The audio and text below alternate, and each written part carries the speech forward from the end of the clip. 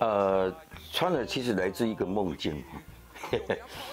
这个野台戏，野台的歌剧团呢，因为男女主角都喜欢歌仔戏，然后在台风天也一样演出，台子垮了，女生为了保护男生就被压在上面，然后女生过世了，男男生丧失了记忆，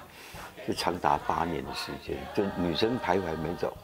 没走的原因是因为他要帮助这个剧团让它有传承下去，等于是重新再认识，重新再谈恋爱一次，可是事情总有。最后，呃，生离死别的部分嘛，因因为他们在，呃，出意外之前演的是薛平贵、王宝钏的别窑，呃，回来的回窑并没有演完，所以这出戏是不完整的，代表他们两个人的感情也不完整，但永远不可能完整，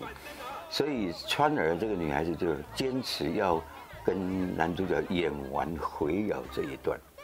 就当一切知道之后，他们两个单独在戏台上演完了回咬。男主角是因为想起了，因为这个女孩子回来，想起了八年前的记忆，想起了他曾经对，呃，歌仔戏所做过的承诺，也是找回来他的热情。这个故事，我认为呢，我个人认为非常的凄美啊，当时。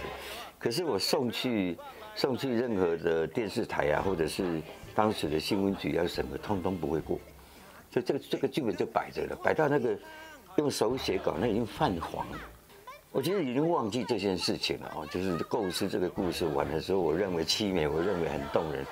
呃，所以我就摆着摆着摆着，十二年也就没有人要投资，十二年在我身上，然后曾慧成导演看到了就可不可以给他？我说当然可以，没有人要嘛，哦，他就写的音乐剧大概写了五。摆了五年，也没有人要。后来魏有营要了，就，呃，从写好到真正发生，还是十八年，很恐怖的十八年。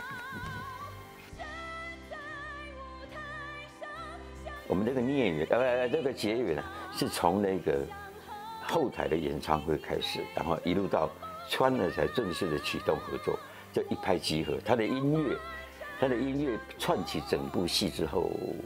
听说了，听说他在写川儿的时候，写歌是边写边流泪，开心，